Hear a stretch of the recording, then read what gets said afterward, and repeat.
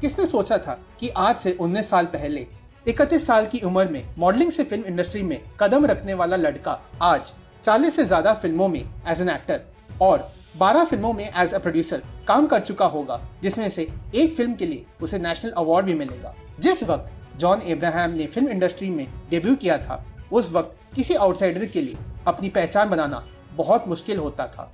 उनसे पहले कई सालों तक सिर्फ़ शाहरुख खान और अक्षय कुमार ही आउटसाइडर थे। उनके होने के बावजूद भी अपनी पहचान बना पाए थे और ये बहुत बड़ी बात है। इस वीडियो के ज़रिए हम ये जानने की कोशिश करेंगे कि क्यों आखिर 20 साल बाद भी रेलिवेंट है जॉन। जॉन की फ़िल्मों की चॉइस देखी जाए तो वो बहुत इंटरेस्टिंग रही है। उनके करियर की पहली ही फ़िल्म जिसम काफ़ी ऑफबीट थी, जो कि किसी भी एक्टर के लिए रिस्क था। बट उसके बाद आई साल 2004 में धूम। जिसमें से उन्होंने एक विलेन का रोल निभाया।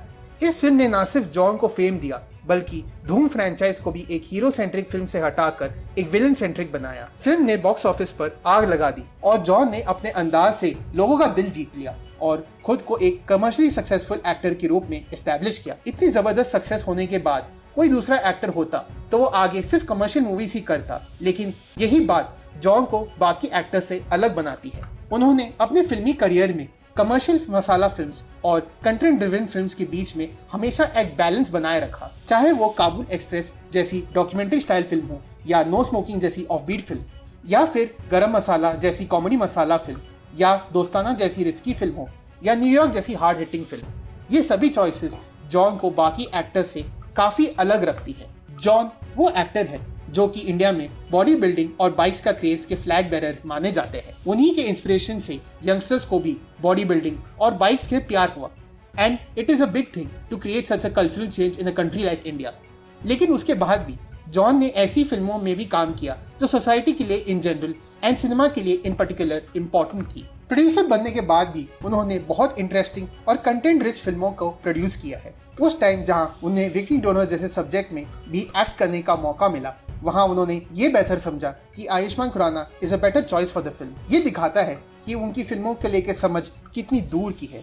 फिर चाहे वो मद्रास कैफ़े जैसी थ्रिलर मूवी हो या फिर परवानो, इन सभी फ़िल्मों ने ये प्रूव किया कि John is a good actor but a better producer वो अब कंटेंट से भरी इंडस्ट्री मलयालम में भी कदम रख रहे हैं by backing the film maker वो कभी भी फ़िल्मों में रिस्क लेने से पीछे नहीं हटे और उनकी हाल ही में रिलीज़ हुई फ़िल्म अटैक साइफर जॉनर की है। ये जॉनर इंडियन इंडस्ट्री में बहुत कम टच हुआ है। चाहे वो मुंबई का प्रेस्टिजियस कॉलेज से एम करना हो या मॉडलिंग की दुनिया में अपना नाम बनाना हो या फिर फिल्मी दुनिया में दूसरों से हटके अपना रास्ता बनाना हो, जॉन ने हमेशा ही सबको इंस्पायर किया है और दुनिया में ये दिखाया है कि विद टाइम वो खुद कितना इवॉल्व कर चुके हैं और ऑडियंस के मूड को सही पहचान सकते हैं। जिस वजह से वो आज भी बॉलीवुड के टॉप ए एक्टर्स में से एक है। क्या आप मेरे पॉइंटर से सहमत है या नहीं?